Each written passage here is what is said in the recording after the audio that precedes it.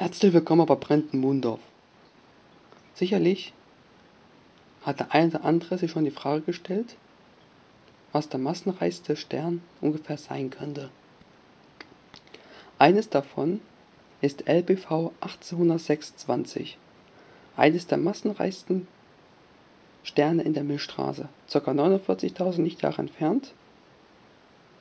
Alter wird bei etwa 1 bis 2 Millionen Jahre geschätzt und befindet sich im Sternbild Schütze. Mit bloßen Augen kann es nicht erkannt werden, da der Überries etwa 49.000 Lichtjahre entfernt ist am anderen Ende des, der Milchstraße. Dort funkelt er und Gas- und Staubwolken zwischen uns absorbieren von den Sternen ca. 90% eines sichtbaren infraroten Lichts.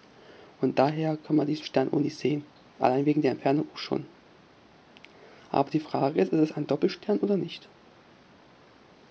Die Masse ist extrem groß und spezielle Beobachtungsdaten haben, haben sie dadurch gewonnen und die stützen die Annahme, dass das ein Doppelstern sein könnte, wo zwei Sterne in Abstand von 400 astronomischen Einheiten sich umkreisen.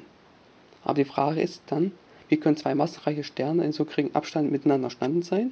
Andererseits, wie kann es ein Einzelstern sein? Weil normal diese extrem massenreichen Sterne über 200 Sonnenmassen gab es am Anfang des Universums.